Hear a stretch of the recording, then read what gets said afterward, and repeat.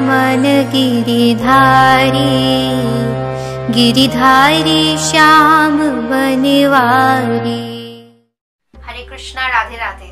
मैं भक्तिन सुरभि आप सभी भक्तों को मेरा दंडवत प्रणाम और बहुत बहुत आभार welcome back to my YouTube channel 23 फरवरी 2021 को जया एकादशी है। आज के वीडियो में हम जया एकादशी की व्रत कथा श्रवण करेंगे। चलिए वीडियो को स्टार्ट करते हैं। माघ महीने के शुक्ल पक्ष या जया एकादशी व्रत का महत्व भविष्योत्तर पुराण में वर्णित है। गरुड़ पुराण में माघ महीने के शुक्ल पक्ष या एकादशी तिथि को भैमी एकादशी तिथि के नाम से उल्लेख किया गया है। युधिष्ठिर महाराज भगवान श्री कृष्ण से कहते हैं, हे भगवान, कृपया आप मुझे माघ महीने के शुक्ल पक्ष या एकादशी तिथि का वर्णन सविशेष में कीजिए। भगवान श्री कृष्ण कहते हैं, हे महाराज माघ महीने के शुक्ल पक्ष या एकादशी तिथि को जया एकादशी तिथि के नाम से जाना गया है। ये तिथि सर्व पाप विनाशिनी, सर्वश्रेष्ठ, पवित्र सर्व काम और मुक्ति प्रदायिनी है। इस व्रत के फल से इंसान कभी भी प्रेतत्व प्राप्त नहीं करता है। एक बार स्वर्ग लोक में देवराज इंद्र देवत्व कर रहे थे। वहाँ पे अन्य देवताएँ भी बहुत सुख में थे। वो पारिजात पुष्प से शोभित नंदन कानन में विहार कर रहे थे। एक दिन पचास करोड़ अप्सरा और नायकों को इंद्र के इच्छा के अनुसार आनंद के सहित नृत्य करने को बोला गया था। वहाँ पे गंधर्व गण भी गाना गा रहे थे। पुष्पदत्ता और चित्रसेन आदि प्रधान प्रधान गंधर्व भी वहाँ पे उपस्थित थे। पुष्पदत्त की पत्नी का नाम था मालिनी और उनका एक कन्या थी जिनका नाम था पुष्पबंती और उधर चित्रसेन के पुत्र का नाम था माल्यवान। ये माल्यवान पुष्पबंती के रूप से मुक्त हो गए थे और इधर पुष्पबंती अपने कटाक्ष के द्वारा माल्यवान को वशीभूत कर रही थी। दोनों ही नृत्य और गीत में इंद्र के सभा में योगदान किए थे, लेकिन दोनों ही एक दूसरे के ऊपर आकृष्ट हो गए थे और उनका मन भ्रमित हो गया था। वहाँ पे वो दोनों केवल एक दूसरे को देख रहे थे। ऐसे ही गाने में विपर्जय घट गया और उनका ताल भंग होते देख देवराज इंद्र समझ गए कि ये दोनों एक दूसरे के प्रति आकृष्ट हो गए हैं।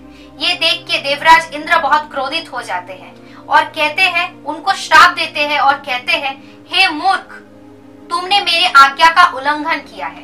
तुम अभी पिशाच योनि प्राप्त करके मर्त्य लोक में अपने दुष्कर्म का फल भोग करोगे। इंद्र का श्राप पाने के बाद वे दोनों हिमालय पर्वत में विचरण कर रहे थे। पिशाचत्व प्राप्त करने के बाद वो अपने पूर्व परिचय से विस्मृत हो गए थे। और वहाँ पे बहुत ही कष्ट के साथ अपना दिन बिता रहे। एक दिन पिशाच ने अपनी पत्नी पिशाचिनी से कहा, सामान्य मात्र पाप भी नहीं किया है, फिर भी नरक जातना के समान पिशाचत्व प्राप्त किया है। ऐसे ही चिंता किया करते करते वो मृत्यु के समान दिन बिता रहे थे हिमालय में। तो पुष्पवंती और माल्यवान के कोई पूर्व के पुण्य फल के कारण उस समय माघी शुक्ल पक्षिया जया एकादशी था। तो उस दिन वे बट वृक्ष के नीचे बैठ के अनाहार और निर्जला करके अपना दिन रात बिताए थे।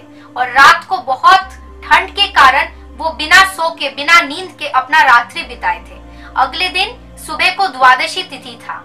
तो पूर्व दिन में जया एकादशी व्रत में अनाहार और निर्जला और रात्रि जागरण करने के कारण उनका भक्ति अनुष्ठान पालन हुआ था, जिसके फल से भगवान विष्णु की कृपा से वो पिशाच योनि से मुक्ति पाते हैं और वो अपना पूर्व रूप वापस पाते हैं और फिर वो स्वर्ग में वापस जाते हैं। देवराज इंद्र उनको देख के बहुत ही चकित हो जाते हैं और उनसे प्रश्न करते हैं, ये पिशाचत्व तुम्हारा कैसे दूर हुआ? मेरे श्राप से तुमको किसने मुक्ति दिया? ये सुन के माल्यवान कहते हैं, हे प्रभु, भगवान वासुदेव की कृपा से जया एकादशी व्रत के पुण्य प्रभाव से हमें पिशाचत्व से मुक्ति मिला है। ये सुन के इंद्र कहते हैं, हे माल्यवान अभी से तुम लोग फिर से अमृत पान करो और तुम पुष्पवंती के साथ स्वर्ग में सुख के साथ वास करो। भगवान श्री कृष्ण युधिष्ठिर महाराज से कहते हैं, हे महाराज इस जया एकादशी व्रत के पुण्य फल से ब्रह्मा हत्या जैसे पाप से भी मुक्ति पाया जा सकता है। इस व्रत के फल से समस्त प्रकार दान करने का फल लाभ होता है। सब यज्ञ और तीर्थ का पुण्य फल इस एकादशी व्रत का पालन करने से अपने आप लाभ होता है। जो एकादशी व्रत का पालन करता है, वो अंत में अनंत काल नामक वैकुंठ को प्राप्त करता है। इस एकादशी का व्रत कथा पाठ और श्रवण मात्र करने से अग्निस्तोम यज्ञ का फल लाभ होता है। तो यही थी कथा पवित्र जया एकादशी का। तो मैं हर बार की तरह इस वीडियो में भी फिर से आप सबसे रिक्वेस्ट करूँगी कि प्लीज़ आप अगर एकादशी व्रत नहीं करते हैं तो इस एकादशी से एकादशी व्रत का पालन करना शुरू कर दीजिए। और बस ये वीडियो अच्छा लगा हो तो वीडियो को लाइक कर देना और अगर आपका कोई भी क्वेश्चन हो तो आप नीचे मुझे कमेंट्स में पूछ सकते हो, मैं ज़रूर उसका रिप्लाई दूँगी। एंड प्लीज़ मेरे चैनल को सब्सक्राइब कर देना बिकॉज़ ये आपके लिए बहुत ज़्यादा डिफ़िकल्ट नहीं है, लेकिन मेरे लिए बहुत बड़ा एनकरेजमेंट है और जो मुझे इंस्पायर करता है आगे और भी ऐसे वीडियोस बनाने के लिए। और मुझे पता है आप सबका आशीर्वाद और प्यार मेरे साथ हमेशा है और आगे भी रहेगा।